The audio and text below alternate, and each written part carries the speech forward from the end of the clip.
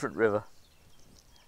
The other day, to be honest, was a complete disaster because uh, we were self-distancing. We found a place that there shouldn't have been any people, and there weren't. Uh, there weren't any fish either. Now we found another spot here today that's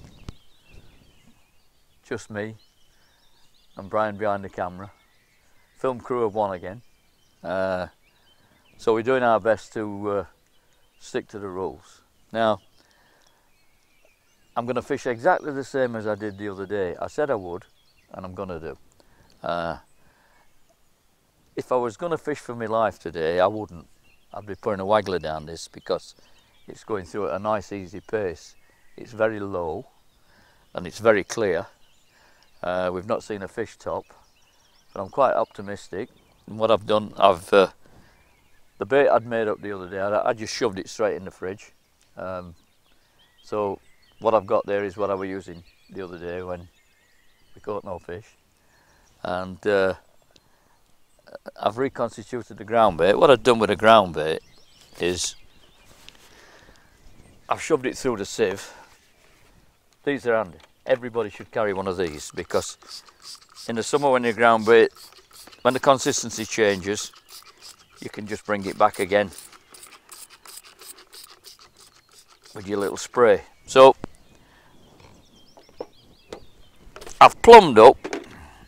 Uh, I've got about today probably about just under eight foot. Uh, I've got an 010 bottom.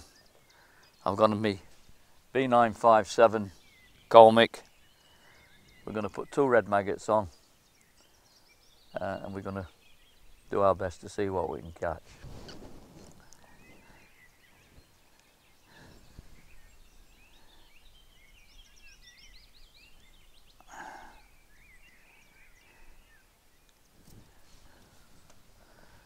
what I'm going to do, although I made, I've got the ground bait there, I'm just going to just going to test it, see how we go with uh, a few loose fed reds. And I'm going to go down the middle first. We've got a slight disadvantage because we've got a downstream wind, but it'll be, oh look, look at that.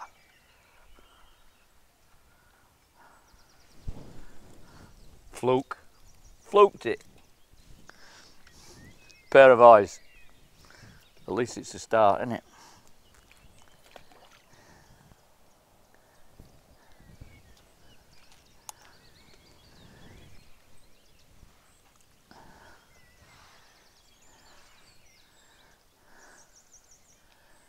My main line is a Maver floater. Uh, it's a brilliant li line for running a stick float or a bolo down. Uh, it stands some stick as well. Um,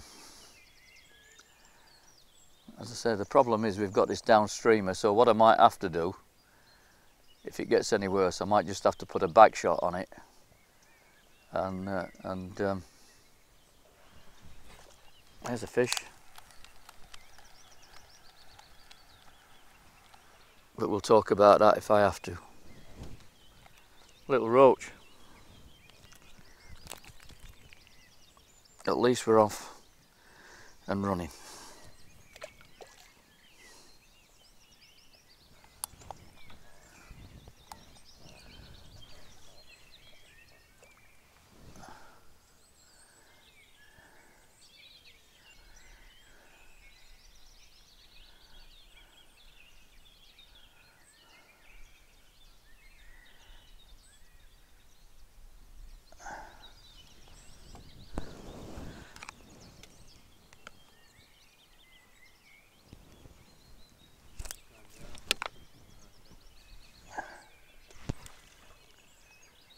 A better fish.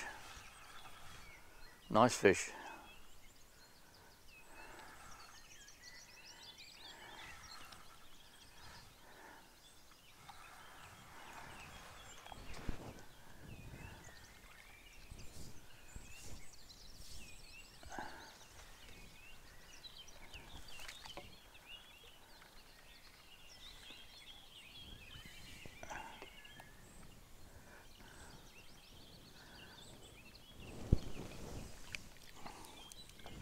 Hybrid.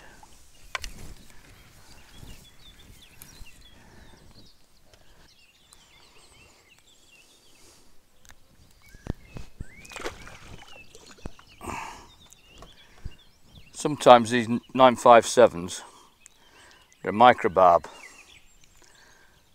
but sometimes the barb protrudes out a little bit too far and it makes it awkward for getting the hook out. Now what I quite often do when that happens I'll just flatten the barb down a little bit more and it stops that happening. So we'll see what happens next fish.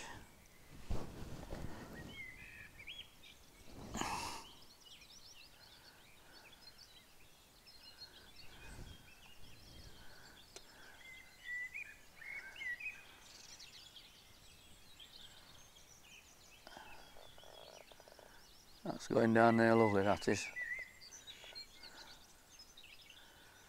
Charm my granny out of a rocking chair, that would.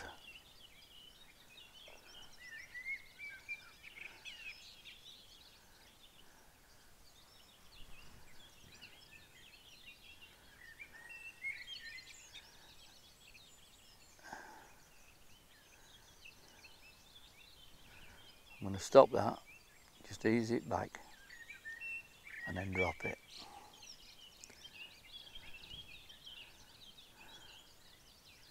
There's fish there, I think it might be a case of just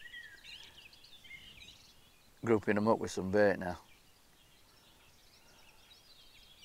Bit of ground baiting.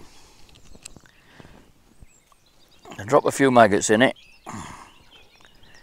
and just stir it up.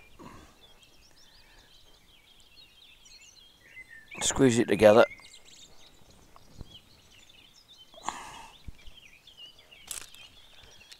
Perfect.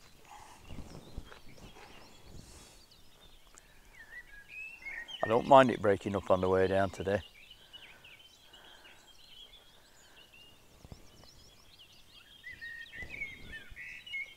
I'll put this one a little bit higher upstream and a bit closer in.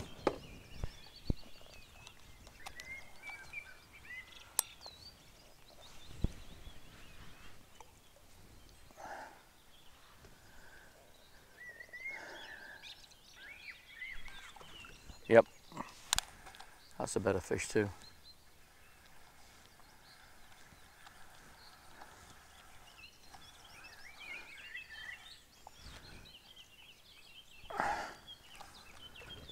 Another hybrid. They fool you a little bit because they fight like hell. and a bit of current that's on it.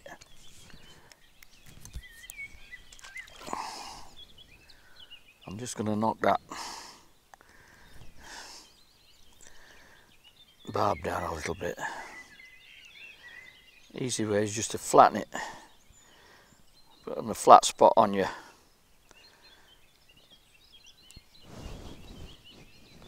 Disgorge you.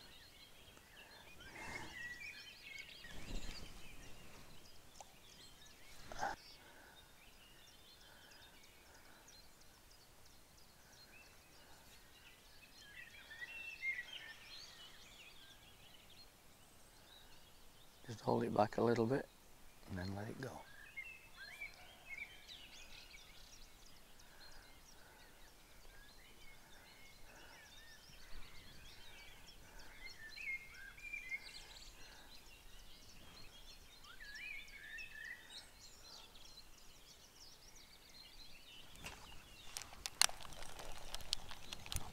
It's just dragging the deck in places. I want it down. I want to keep the fish down if I can. If I can. Uh, I don't want them floating around up in the air. And I'm not convinced, to be honest with you, at this stage, that it's busting with fish. There's fish there, and we want to catch some, but I'm not convinced that it's uh, it's stuffed at the set at this point in time. This time of the year it can either be a feast or a famine. If you drop on them with a shoal up spawning you can empty it. But then you get a lot of other areas where there aren't many fish at all. But uh, I think we'll, we'll catch some here today.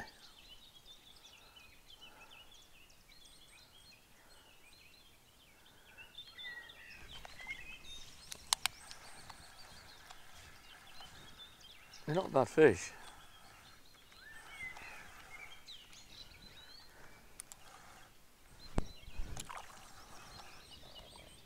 A nice roach. If I'm match fishing, I'll be netting that.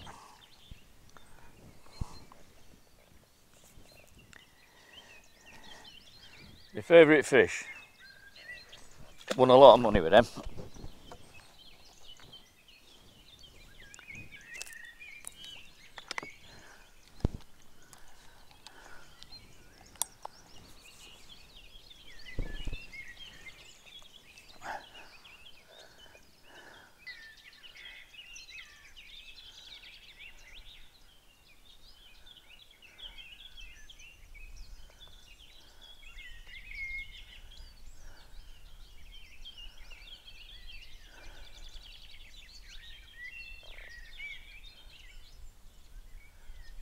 Hold it back a little.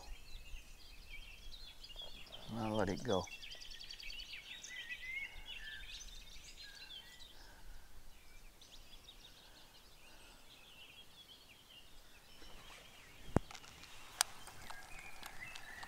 There's one or two having it.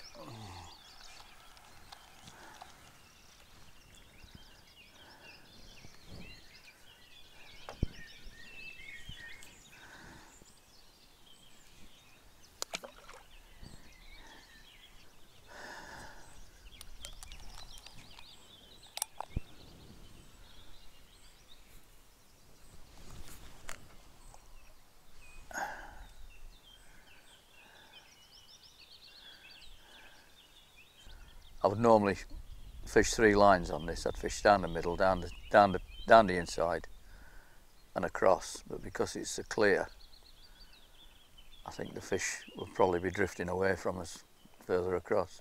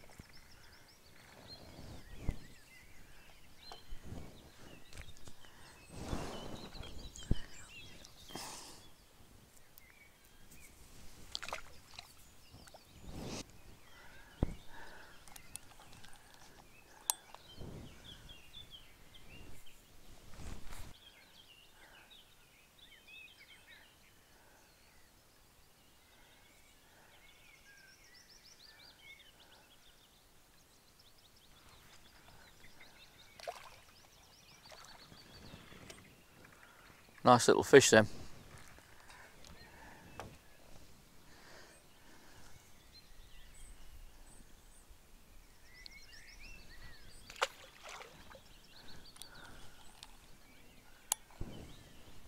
Take Brian's head off.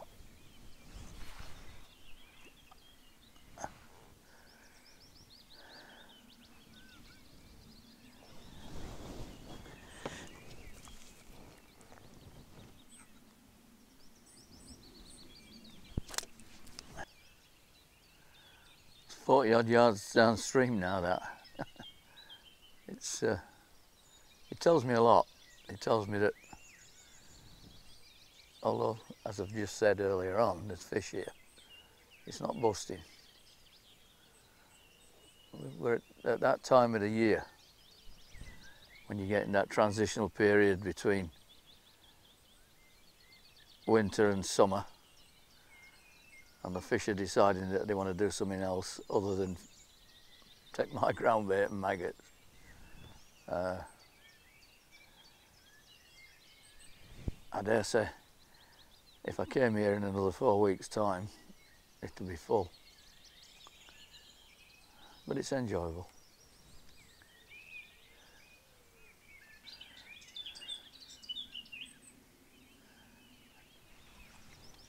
just catching the deck before I started fishing I spent a good five minutes plumbing up and the, the, the thing is with a plumb it tells you a lot of things about your swim don't just chuck it in and leave it in one place, work it through the swim.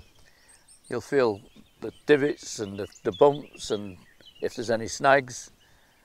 The, the, the plummet is a, a massive part of your gear. Uh, as from a point of view of giving you an advantage. I, I, I take guys fishing and I'll say plumb up, they haven't even got a plummet. You've got to know where your baseline is, you've got to know where you're starting from. And they, they, they just haven't got a plummet with them at all. It's crazy.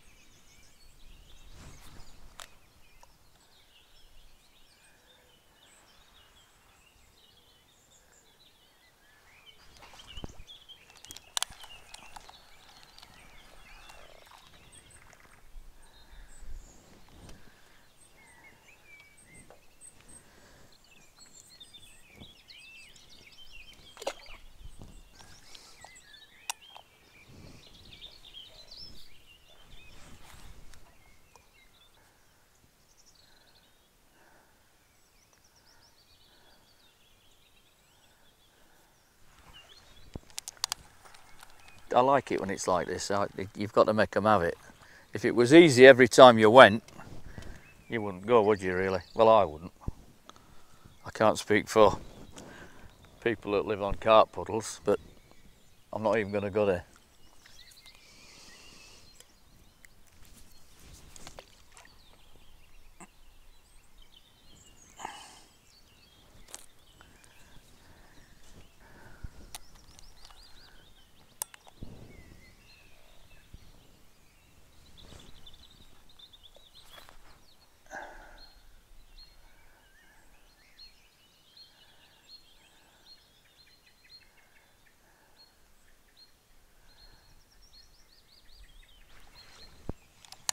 There's just that little rise there and it just catches it occasionally.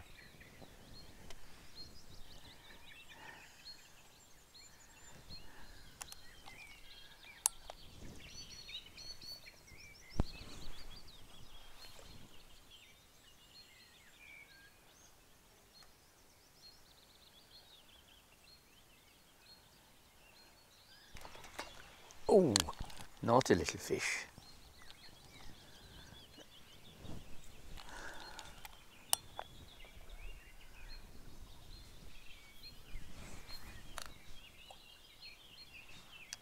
I'm having to go about above three quarters of the way across.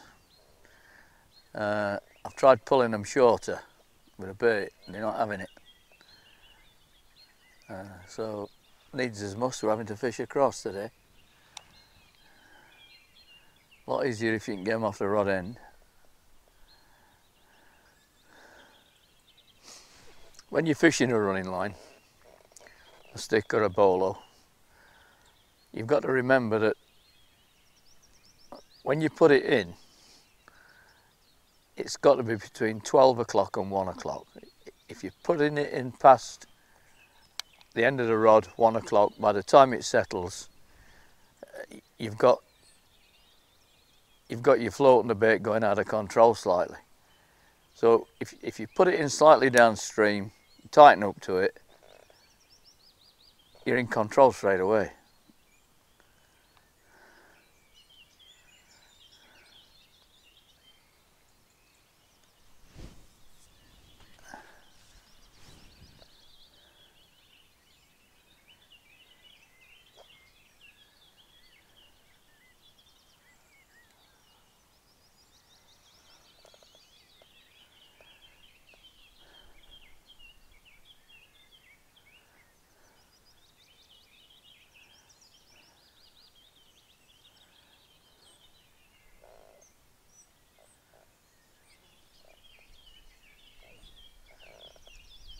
Some mates arrived.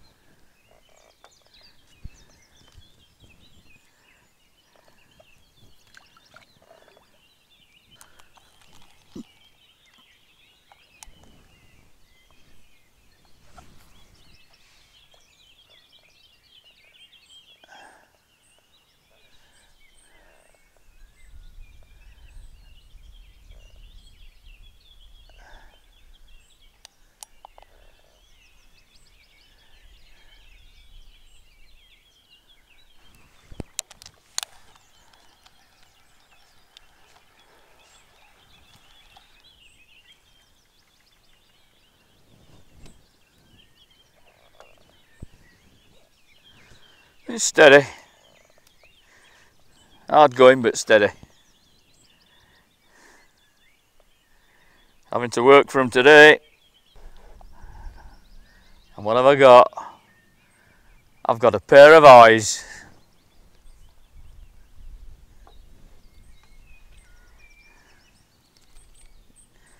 Lovely little perch.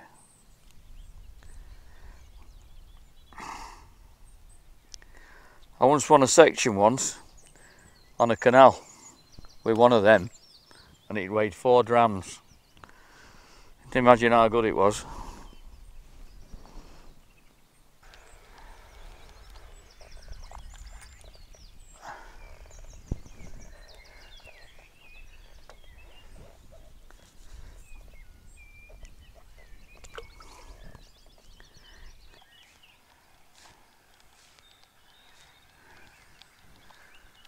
Cracked it now.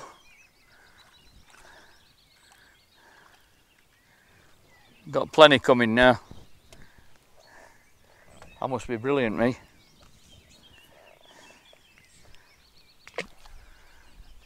One a chuck. One a chuck.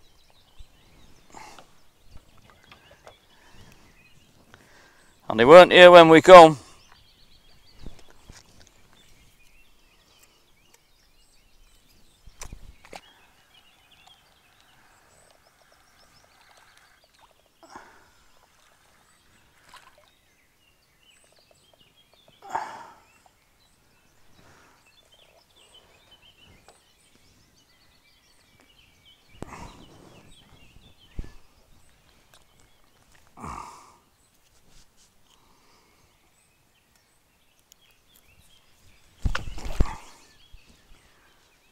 Well, it's almost time to go. Fished about three hours. Started off slow, getting one a chuck now. Um, had to be worked out. Um, he wanted a loose feed. The ground bait were knocking them back. Another day, different circumstances. It's a matter of working out what they want how they want it. And today they wanted loose feed. Every every second cast if I put loose feed in every second cast I got a fish. Sometimes every cast or every every two casts they've got a lot of fish. Um, but uh, some nice handful a couple of just netters. A lot of small fish. But when we got here there were very few fish uh, and we've pulled them in using this method, we've pulled them in and, and, we've got a decent bag of fish. And, and very shortly what I'll be doing is pulling the keep net out and putting the fish back and uh, we'll be back another day. Enjoyed it though.